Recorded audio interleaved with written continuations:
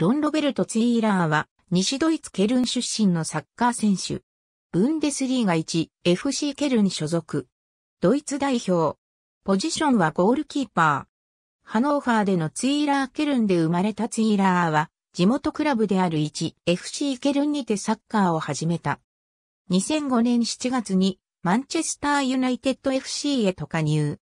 マンチェスターユナイテッドでの1年目は、U-18 カテゴリーで22試合に出場。翌シーズン U-18 の正ゴールキーパーの座をベン・エーモスと争うとともに2007年3月15日のシェフィールドユナイテッド FC 戦でリザーブチームデビューした。2007から08シーズンにはリザーブチームに昇格し11試合に出場した。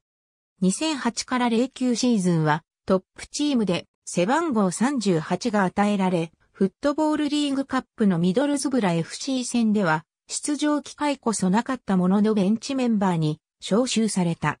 2008年11月26日、12月31日までのレンタル移籍でノーサンプトンタウン FC へ移る。しかしその後、2009年1月31日までレンタル期間を延長。その後も期間を再び延長し、最終的に2月25日までノーサンプトンタウンに所属した。ノーサンプトンタウンでのデビューはウォルソール FC 戦であり、その3日後に行われたブライトンホーヴ・アルビオン FC との試合にも出場した。マンチェスターユナイテッド復帰後は再びリザーブチームに加わった。復帰後の4試合で1失点に抑えるなど活躍したが、ニューカッスルユナイテッド FC との試合で腕を負傷。負傷から回復した後に再び定位置を奪うことはできず、サブメンバーに選ばれる機会も減少した。2010年夏の移籍市場で母国ドイツのクラブであるハノーファー96と2年契約を結んだ。加入当初はリザーブチームでのプレーが中心だったが、シーズン後半にフローリアン・フロムロビッツから定位置を奪いリーグ戦15試合に出場し、チームの4位に貢献した。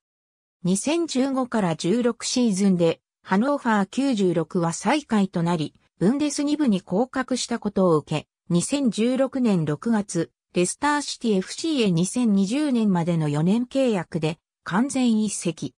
6年ぶりにプレミアリーグへ復帰した。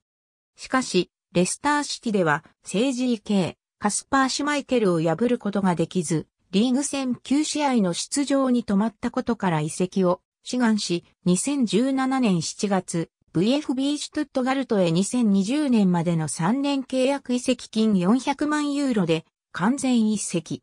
1年でブンデスリーガ復帰となった。2019年6月17日、古巣のハノーファー96へ3年ぶりに復帰。2023年6月までの4年契約を結んだ。2020年8月13日、故郷チームである 1FC ケルンへ2020の21シーズン終了までの期限付き移籍をした。ドイツ代表でのツイーラー UEFAU-19 欧州選手権2008でドイツ代表のゴールを守り優勝を経験。1年後には 2009FIFAU-20 ワールドカップにも出場した。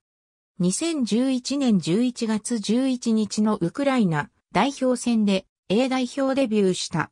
2014FIFA ワールドカップを戦うドイツ代表に選出された。大会を通しては、マヌエル・ノイアーとロマン・バイデンフェラーに次ぐ第3次 EK として参加したため出場機会はなかった。